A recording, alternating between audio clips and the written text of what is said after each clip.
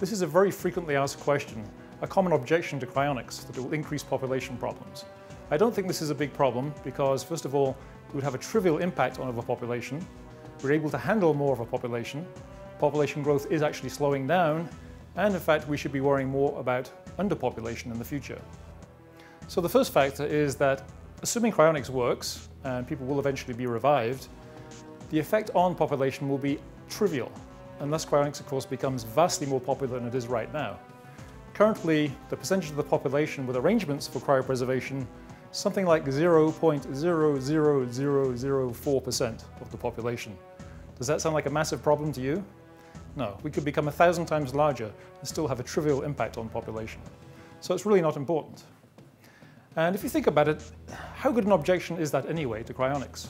You can make the same objection to using vaccines, statins to lower your risk of heart attack. After all, if you die earlier, it helps to reduce the population. Maybe we should get rid of all those public health measures that prevent people dying of infectious diseases, uh, and cholera, cholera and dysentery. Maybe we should stop trying to reduce infant mortality rates, all of which are contributing to uh, population a lot more than cryonics possibly could, especially actually by reducing infant mortality because they'll grow up and have children themselves. So by this logic, presumably we should encourage infant mortality. Nobody wants to do that. So the effect of cryonics will be very trivial. But even if population does continue to grow, as many people assume, into the indefinite future, I think we can handle it. We're learning to make do with more with less material. There's actually a dematerialization of the economy underway, where many of the things we do every day involve fewer physical resources. The actual number of physical pounds of weight per dollar or per real dollar of US output has been declining for decades. We spend more and more time telecommuting, doing things online rather than driving or building large devices and machines. Our cars use less materials than they did in the 60s. Just compare the weight of a car now to one in 1960. So overall, we're using fewer resources, and I think that's a trend that can continue, especially with appropriate policy incentives. So we can handle more of our population. How much more of our population do we have to consider? And what if cryonics really did become popular enough to actually make something of a real impact on that population growth? Well, population growth has been slowing down for a long time. And a lot of people aren't really very aware of that. They may have that vague idea in certain parts of the world. But the fact is that, yes, we've had a huge population growth in the last 100, 200 years, but that's been slowing down greatly. Fertility levels have been declining all over the world. In some parts of the world, the effect is quite drastic.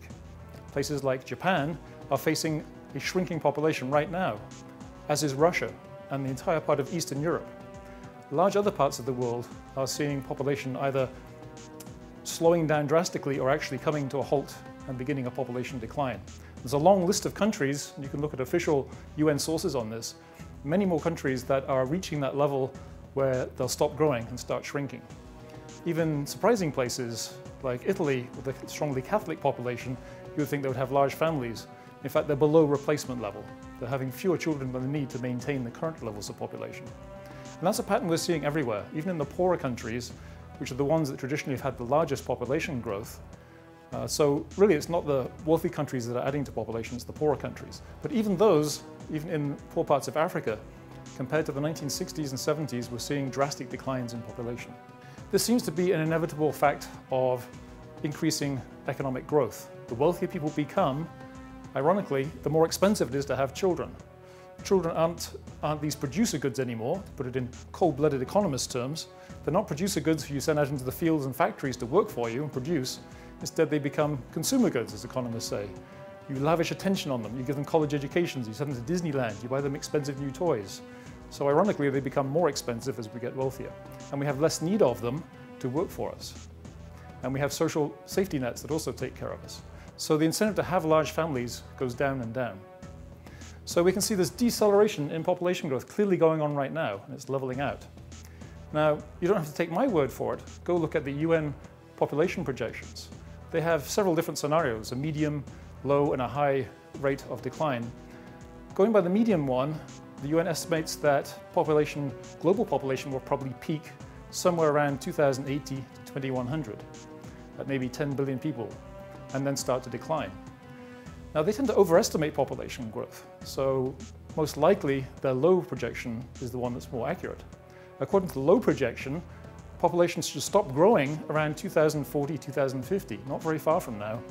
with only maybe another billion people than we have today.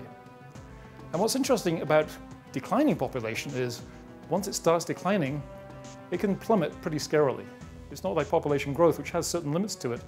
If people just stop having children, population can plummet. So that would provide a very strong incentive actually for cryonics to work, so we can start bringing people back and stopping, stopping the population from crashing too drastically.